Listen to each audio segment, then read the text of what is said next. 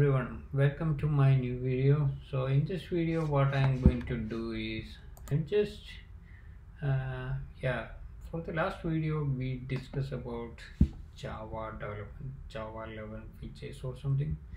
So today we are going to do some uh, different topic. I mean we are not going to discuss about the programming concept on this. We are going to the infrastructure side. So if we are uh, creating an application and converting into a war file and need to deploy in a JBoss application server how you can do that? So the thing is like uh, we need to know uh, application what is application server and also what is web server uh, what is the difference between application server and web server? So that's another topic. So but today we are not going to that topic also.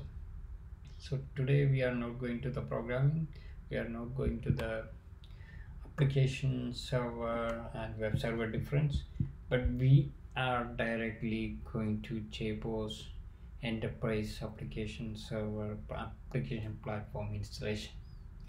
So why we are going to do this? Uh, actually I want to discuss about the difference between application server web server and other things.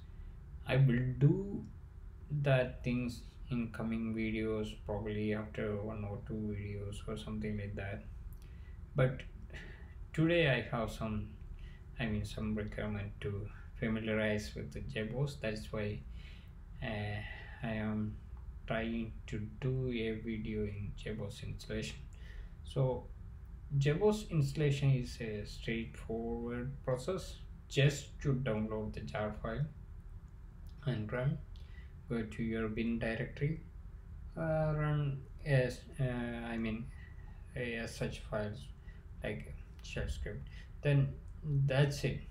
We don't need to do any complicated configuration changes or something like that to run an application server.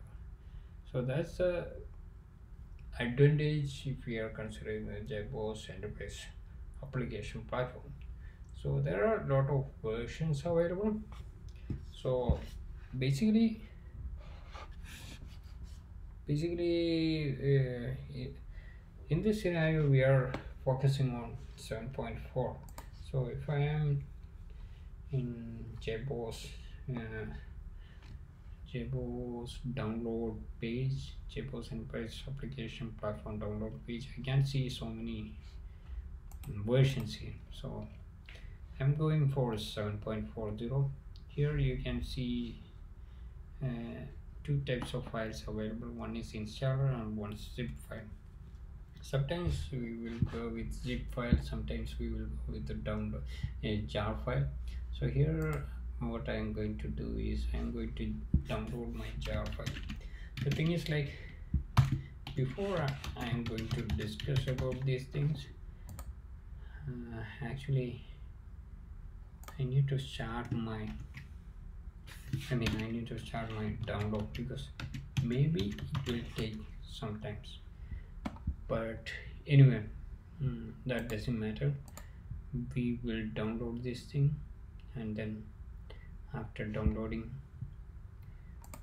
uh, during the downloading process itself we are trying to we are trying to explain all, the, all these steps we are going to do today. So we will download jar file then click on jar select lang language then accept the license agreement select the installation folder common selection create administrative user choose username password component installation and then configure runtime environment configure runtime environment. That probably mm, we need to make yeah that probably we can see after downloading this jar so i just download the jar file and right now.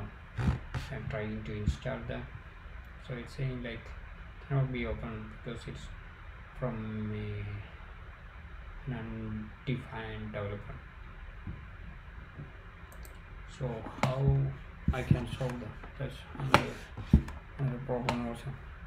So I need to yeah, I need to find a solution for that. Uh, open with Java launcher.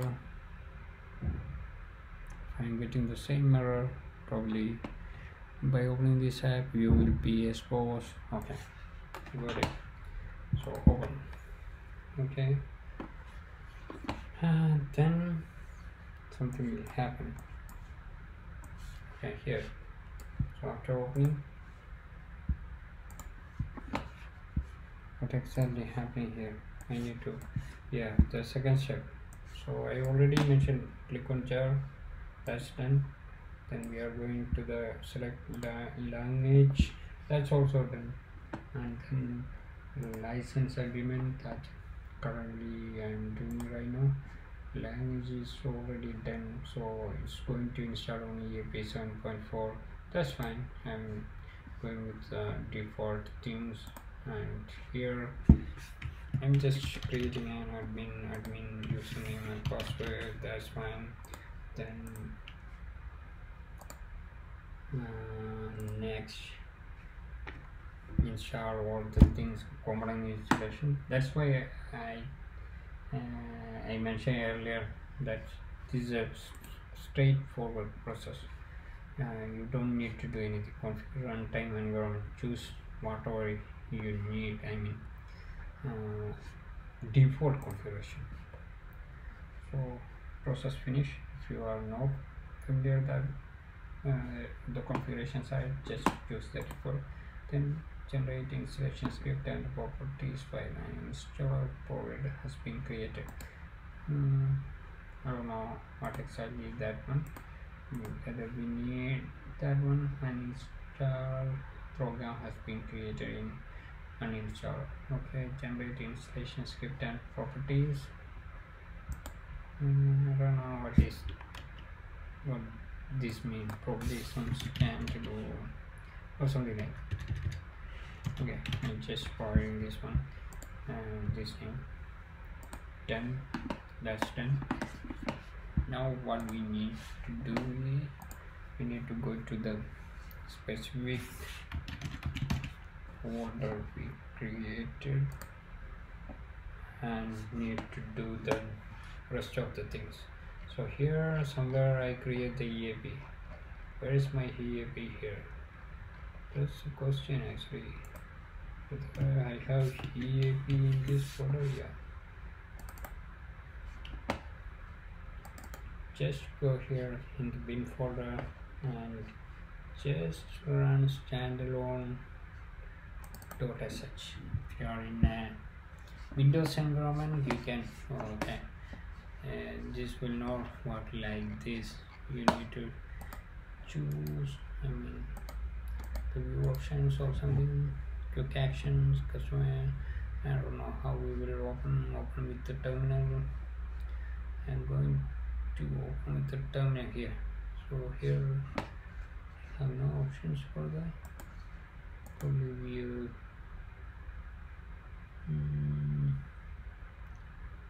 can you find for a new tab or something like that.